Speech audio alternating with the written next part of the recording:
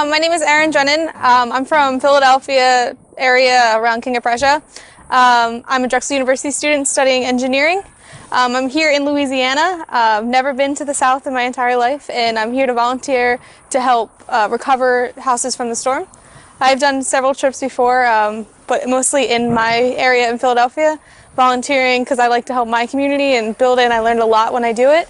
Um, so this year I took a chance and I wanted to go to a different community, especially after the tragedy that happened last, last August. And um, it's really rewarding and I've learned a lot and I've been able to help people a lot. And I'm only day two into it and I have a lot of skills I could take home now. And it's a really rewarding experience. Hi, my name's Barry Steigerwalt. I'm from Allentown, Pennsylvania, down here in Louisiana, giving a hand with the flood that was in uh, Baton Rouge area. And this is my second trip down with our church, Sons of a Carpenter.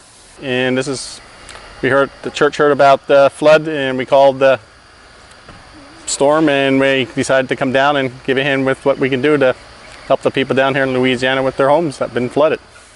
Hi, my name is Marvin and uh, I'm a civil engineering student at Drexel University.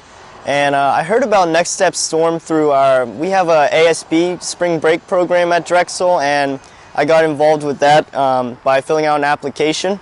And uh, the reason I decided to choose to come to Louisiana was because I, you know, you hear about all the disaster on the news and the media, but I don't think you get the actual experience unless you see it for yourself. You don't really realize how devastating it is and how much help they really need here.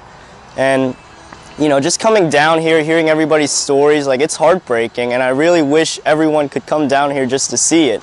And you know, and I think the biggest reason why I came down here is just because I'm, I'm able to, you know. I have my feet, I have my hands, and I just want to help out in any way I can. Hi, my name is Amy. I'm from Drexel University in Philadelphia, Pennsylvania.